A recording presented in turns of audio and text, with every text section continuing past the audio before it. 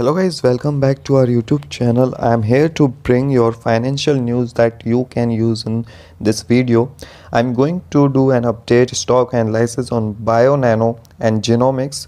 Have i changed my changed my sell recommendation from last year um, on this penny stock? Well let's find out together. I'm going to go over a summary of the company its product offerings recent headline news financial analysis and uh, projection and giving my buy hold or sell recommendation for both uh, your short term and long term growth investor out there. And that is always for uh, i forget to smash that like button down below definitely helps. And consider subscribe and hit that notification bell. Like your daily stock review and recommendation from none by a source so let uh, let's get uh, right into it. So Bionano Genomics it provides the analysis of software solution. It offers a Saphyr which is a simple tool for structural variation analysis by optical genome uh, mapping for drone analysis and understanding of genetic variation and functions.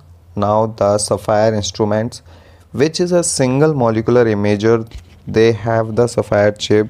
They have a uh, consumable uh, that's a consumable uh, package the nano channel arrays for dna uh, linearization and uh, Bionano preps kits and dna labeling kits now which provides the reason and protocol for extracting and labeling ultra high molecular weights now the company also provides Saphyr and Bionano computers, uh, computer service uh, servers and X Clinical which offer one system for analysis and interpretation uh, for genomics variants from microarray and next generation sequencing data for genetic and molecular genetics. Now in addition it offers testing laboratories service comprising of first step uh, DX plus a chromosomal uh, microarray for identifying an underlying genetic cause individual with autism structural disorder developmental delay and intellectual disability. The Fragile X syndrome FX testing service the next step TX plus an excellent sequencing test identified genetic variants that are associated with disorder of childhood development.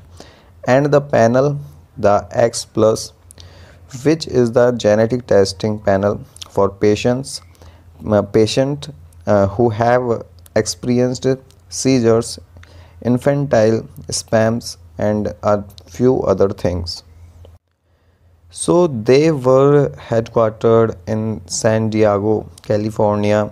So let's go ahead and look at the some of the news that made the stock jump up in the past. So the company announced last week that the publication of the first study to evaluate the utility of optical genome mapping and the analysis of repeat expansion disorder now, biogenetics says repeat expansion disorder are a class of disorder that impact approximately 1 in 3000 people and are caused by expansion of short short tandem DNA repeats. Now in this study by on BioNano says researchers screened to 626 sample for the presence of AGG and repeat expansion in the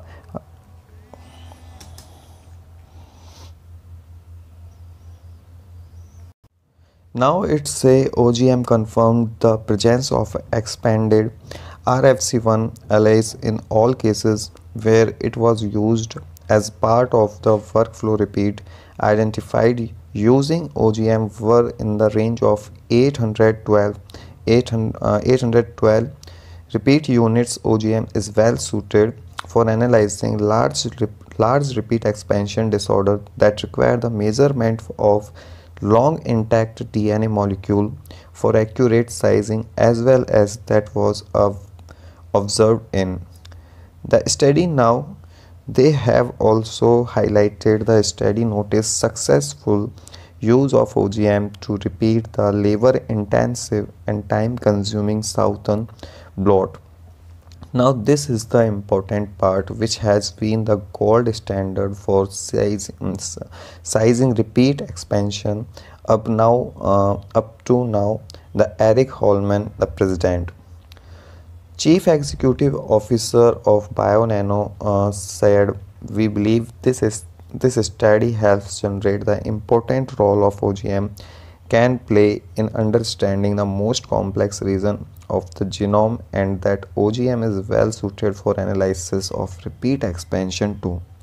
Orders that require the measurement of long intact DNA molecule for accurate sizing. Now he said we plan we plan to continue developing better tools for the direction of a range of repeat expansion disorder, including that causing those causing adult onset ataxia and CANVAS.